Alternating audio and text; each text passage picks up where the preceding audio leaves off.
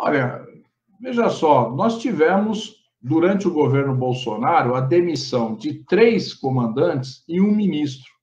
Né? O general Fernando, é, que era ministro da Defesa, foi demitido junto com três comandantes. E aí no, o Bolsonaro nomeia o general Paulo Sérgio, ministro, e ele passa a fazer a política de combate às urnas eletrônicas. Né? Então, aquilo ali já era o começo de um golpe. Né?